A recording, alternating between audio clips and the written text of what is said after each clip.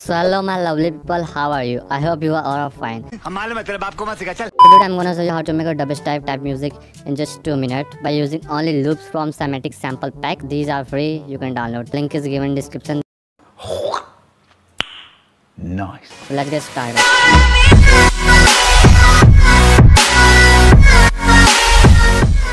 First set the tempo to 150 bpm. Now add a dubstep type drop loop.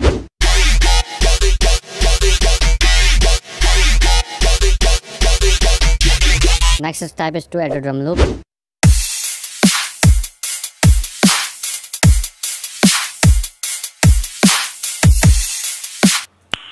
Nice. Now add a chord loop.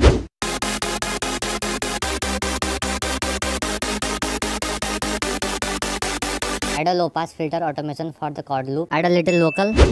One, two, three, jump. Now it's time for build up.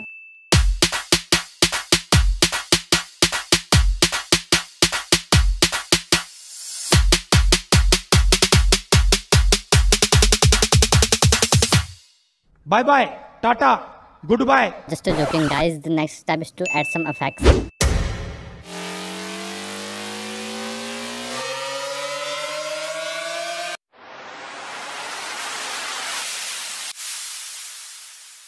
So guys, I forget to tell you that uh, add a hi-hat loop.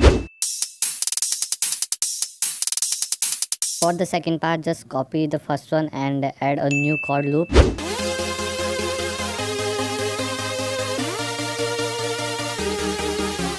Move some notes up and down for a little bit change.